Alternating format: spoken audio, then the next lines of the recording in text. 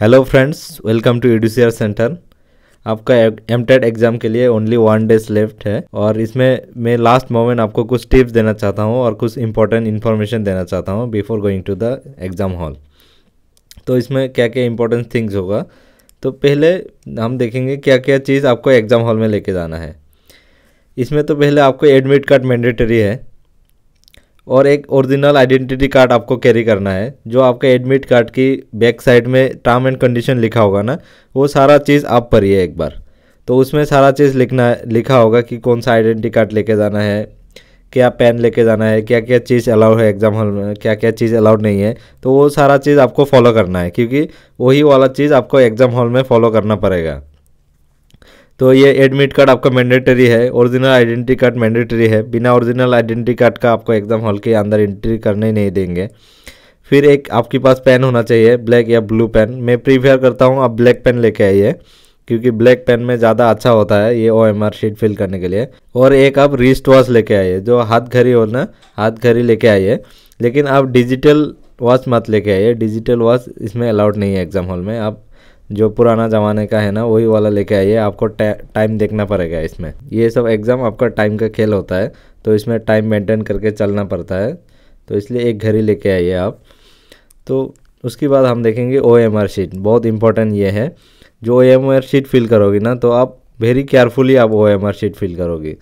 जैसे आपका, जैसे रोल नंबर होगा ना, जो फ़र्स्ट टाइम एग्ज़ाम देने जा रहा है ना तो उसके लिए थोड़ा दिक्कत हो सकता है। कोई भी आपको डाउट होगा ना, जो तब आप उस, वहाँ का जो एग्ज़ाम हॉल में इन्विजिटर होगा ना, उसको पूछ लेना। कोई भी डाउट हो, वो आपको बता देंगे। ये जो आपका ओ शीट होगा ना, ये बहुत केयरफुली फिल करना, क्योंकि ये एग्ज़ाम हॉल में आपको एक ही दिया जाएगा। अगर आपने कुछ भी गलती किया ना तो आपको और दोबारा नहीं दिया जाएगा और आपका पूरा एग्ज़ाम कैंसिल हो जाएँगे। तो इसमें गलती मत करना, इसमें और वाइटनर भी यूज़ मत करना, क्योंकि इसमें वाइटनर अलाउड नहीं है। तो ये जो सारा बॉक्स है ना बॉक्स बहुत केयरफुली फिल करना पड़ता है आपको। और जो रोल नंबर है रोल नंबर तो और केयरफुली करना पड़ेगा। जैसे ये रोल नंबर है ना, इसका रोल नंबर देखिए three zero one one five one one zero zero three six two nine ये है ना इसका रोल नंबर तो जो फ़र्स्ट टाइम एग्ज़ाम देने जा रहा है, वो देख लीजिए। जैसे पहले वाला नंबर है थ्री है ना तो इसमें थ्री में, इसमें सर्कल किया है। फिर नेक्स्ट वाला नंबर है ज़ीरो तो इसमें ज़ीरो में सर्कल किया है। फिर उसके बाद नेक्स्ट नंबर है वन तो वन में सर्कल किया है? फिर वन है तो वन में सर्कल किया है? फिर फाइव है तो फाइव में सर्कल किया है? फिर वन है तो वन में सर्कल किया तो ये चीज़ केयरफुली करना। अगर कोई भी डाउट होगा तो वहाँ का इन्विजिलेटर को पूछ लेना, वो बता देंगे आपको। फिर सेंटर कोड भी उसी तरह फिल करना है। तो वो सारा चीज़ आप फिल करना देख के। और यहाँ पे कैटेगरी वगैरह जेंडर वगैरह, वो लैंग्वेज वगैरह कौन सा सिलेक्ट करोगे? जैसे आपका अगर मैथ एंड साइंस होगा तो ये भी करना पड़ेगा, इसमें बिलोंग मत रखना। ये जो ओ एम आर शीट है, आपको एग्ज़ाम से पंद्रह मिनट पहले दिया जाएगा, आपको फिफ्टीन मिनट टाइम होगा आपके पास ये फिल करने के लिए। तो बहुत ध्यान से आप इसको कर पाओगे, कोई प्रॉब्लम नहीं है इसमें। फिर देखिए, फिर आपका जो क्वेश्चन है ना, आपका जो क्वेश्चन पेपर दिया जाएगा ना, जब आपका एग्ज़ाम शुरू होगा तो ये क्वेश्चन को बहुत केयरफुली आप रीड कीजिए। कभी कभी ऐसा होता है क्वेश्चन के बीच में ना नेगेटिव टर्म दिया जाता है नॉट दिया होता है। तो अगर आप अच्छे से रीड नहीं करोगे ना तो आपको बहुत छोटा छोटा सिली सिली मिस्टेक हो जाता है आपका एग्ज़ाम हॉल में। मैं भी इसको फील किया हूँ कि मैं पूरा अगर क्वेश्चन ठीक से नहीं पढ़ा हूँ ना तो कोई भी मुझे इसीलिए मिस्टेक हो जाता है और बाद में मैं उसको लिए बहुत रिग्रेट फील करता हूँ। तो इसलिए आप क्वेश्चन को बहुत ध्यान से पढ़िए। फिर उसके बाद क्वेश्चन का आंसर कीजिए। आपका ऐसा वाला ओ एम आर शीट दिया जाएगा। पहले जैसे चाइल्ड डेवलपमेंट पेपर होगा, उसके बाद आपका देख लीजिए जो पेपर होगा, उसके बाद सीरियली जाना। तो इसमें इसे one two three four five करके वन फिफ्टी तक होगा। आपका वन फिफ्टी मार्क्स का क्वेश्चन है। तो जो भी क्वेश्चन राइट है ना, उसमें आप ऐसे वो सर्कल को राउंड कर लेना लेकिन इसमें एक क्वेश्चन के लिए दो सर्कल को अगर राउंड करोगे तो वो क्वेश्चन कैंसिल हो जाएँगे। तो एक ही क्वेश्चन के लिए एक ही सर्कल राउंड करना है और जो करेक्ट आंसर होगा वो उसी को करना है।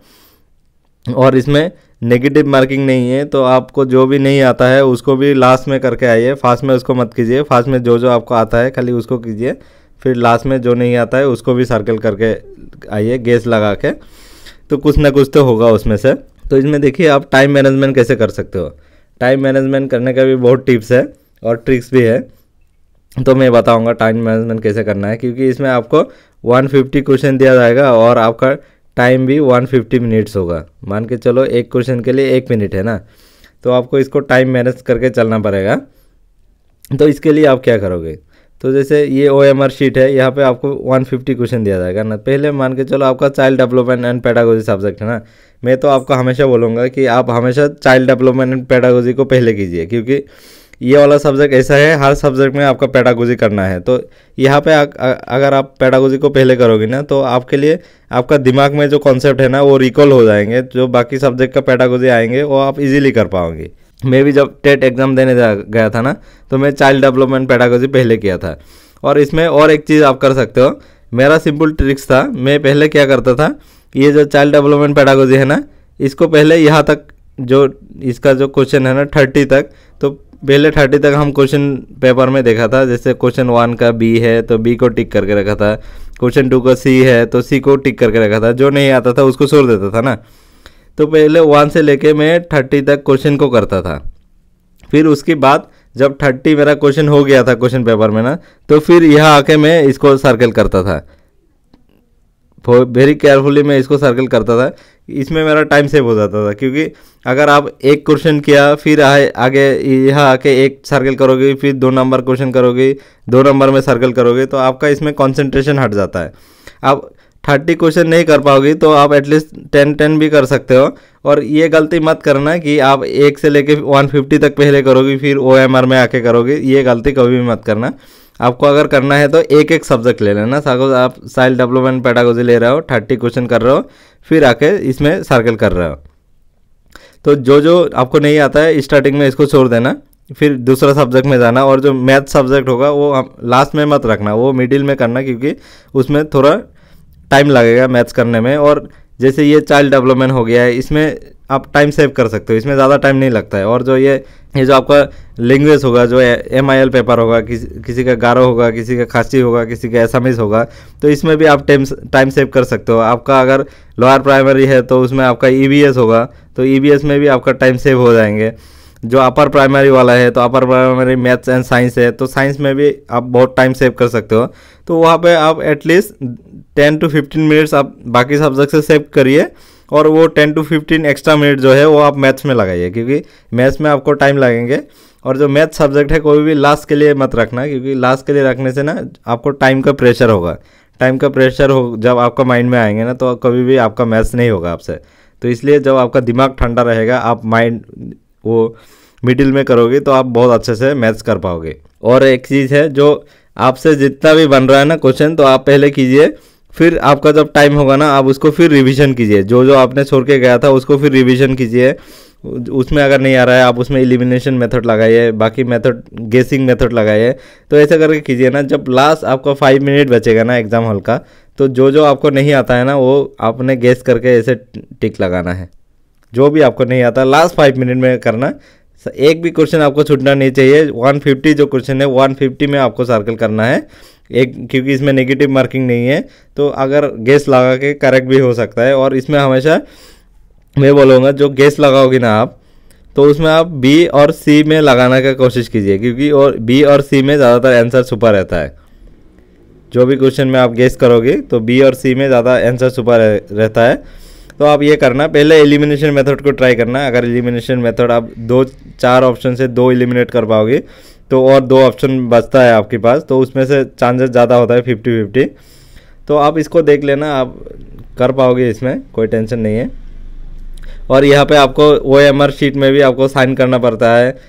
कहाँ कहाँ आपको साइन करना पड़ता है? बीस बीस में आपको वो पेपर लेके आएँगे साइन करना पड़ेगा। तो एक भी साइन मत छोड़ना, वो इन्फ्लिजेटर आपको बताएँगे कहाँ कहाँ साइन करना है। तो आप वहाँ वहाँ साइन कर दीजिए। होप सो आपको ये क्लियर हो गया होगा। मैं एक बार रिवाइज कर देता हूँ। पहले आपको जो एडमिट कार्ड लेके जाना है, या फिर आपको एक ओरिजिनल डॉक्यूमेंट लेके जाना है, और एक घड़ी आपको साथ में लेके जाना है, और फ़ैन लेके जाना है। और फिर आपको जो ओ एम आर शीट दिया जाएगा पंद्रह मिनट पहले एग्ज़ाम शुरू होने से तो उसमें आपको रोल नंबर वगैरह ये बहुत केयरफुली आपको फिल करना है। फिर जब आपको क्वेश्चन पेपर दिया जाएगा ना तो क्वेश्चन पेपर खुल के आप अच्छे से क्वेश्चन पेपर को एक बार देख लीजिए। और आप शुरुआत, मैं बोलता हूँ, आप शुरू, वो चाइल्ड डेवलपमेंट एंड पैडागोजी से शुरू कीजिए। आपको अपर प्राइमरी हो या लोअर प्राइमरी हो चाइल्ड डेवलपमेंट पैडागोजी पहले कीजिए। जो मैथ सब्जेक्ट है मैथ सब्जेक्ट हमेशा बीच में रखना और उसमें थोड़ा टाइम लगेगा। इसलिए बाकी बाकी सब्जेक्ट से थोड़ा थोड़ा टाइम बचा के वो मैथ्स में लगाना। और क्वेश्चन जो है क्वेश्चन आप बहुत केयरफुली रीड करना। ऐसा मत सोचना कि जल्दी जल्दी पढ़ूँगा टाइम नहीं ऐसा नहीं है टाइम एनाफ है आपके लिए। आप क्वेश्चन को अच्छे से रीड कीजिए। लैंग्वेज पेपर है, ये सब में आपको बहुत टाइम बच जाता है। इसमें इतना टाइम नहीं लगता है। आपको थोड़ा वो सिर्फ़ मैथ्स पेपर में थोड़ा टाइम लगता है। बाकी सब में आप इतना टाइम नहीं लगता है, अगर आपका कॉन्सेप्ट क्लियर है तो।